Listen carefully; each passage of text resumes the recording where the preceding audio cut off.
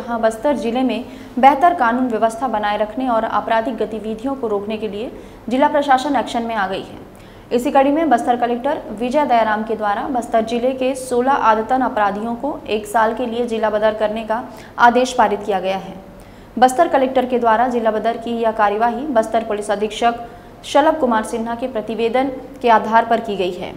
Bastar collector एवं जिला दंडाधिकारी विजय दयाराम के द्वारा पारित आदेश के तहत जगदलपुर के 16 आदतन अपराधियों को छत्तीसगढ़ राज्य सुरक्षा अधिनियम 1990 के तहत जिला बदर किया गया है। पुलिस अधीक्षक के द्वारा दी गई जानकारी के अनुसार इन सभी के द्वारा निरंतर आपराधिक गतिविधियों में शामिल रहकर आम जनता में डर डर का माहौल बनाने और शांति व्यवस्था बनाए रखने में बाधा उत्पन्न किया जा रहा था, जिस कारण से यह कार्यवाही की गई।